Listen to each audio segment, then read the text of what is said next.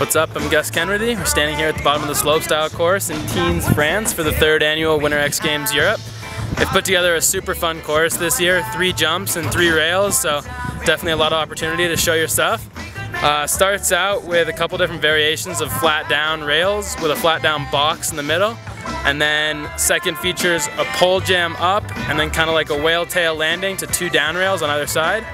And then three jumps. The first jump's probably about 65 feet with super long landing, really kicky jump, definitely a really big jump. And then second kicker is probably the biggest. I'd say it's about 75 feet and pretty poppy. And then third jump's about 65 feet.